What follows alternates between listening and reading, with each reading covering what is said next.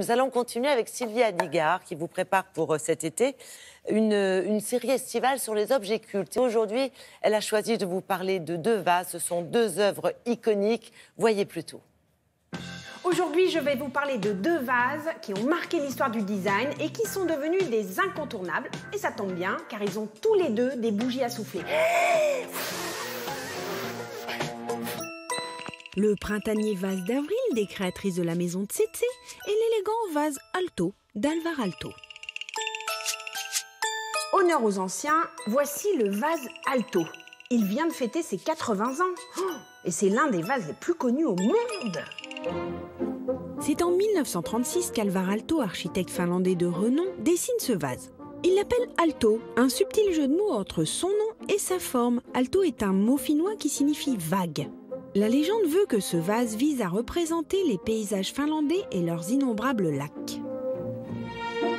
Vague, vague à l'âme, paysage, nature. Ah oui, oui, oui, oui, c'est bien tout cela qui a inspiré Alvar Alto.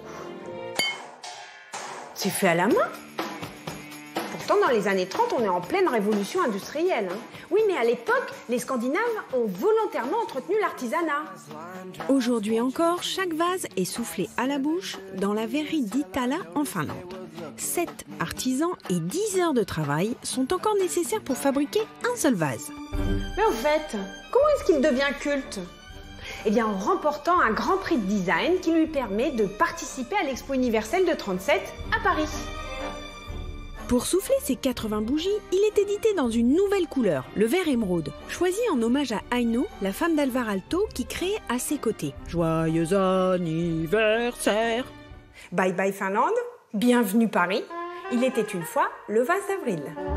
Deux jeunes designeuses, Sigolène Prébois et Catherine Lévy, en 1991, à peine sorties de l'école, tombent sur un lot de 200 éprouvettes. Elles s'inspirent des ikebana japonais, leur talent fera le reste. Grâce à 21 tubes de verre et une structure en zinc, elle crée un vase à géométrie variable.